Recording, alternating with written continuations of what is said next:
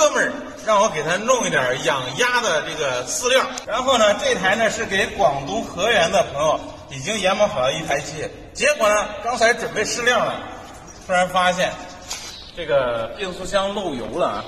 这就是为什么要提前给大家加好齿轮油，然后再研磨好再发货，避免您到家里出现这种情况就麻烦了。所以呢，这台机器白玩了。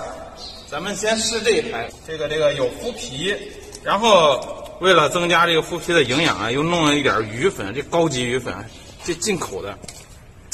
这是纯玉米，非常干的啊！咱们这些料全部都是干料，一点粉不是一点水都没有加。咱们试一下这台机器，看加工效果如何。哎，另外呢，呃，平时试料呢都是这两种料分别倒，今天呢给它混合一下，倒在一块儿，少弄一些。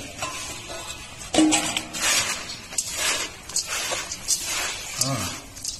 特别香，好，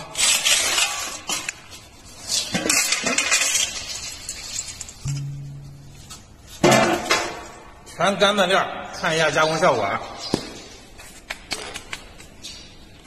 二百二十伏的这个电动机，大家等会儿可以看一下这个电压显示，不低于二百二十伏就能正常出料。这是家庭使用的机器，非常方便啊！开机。可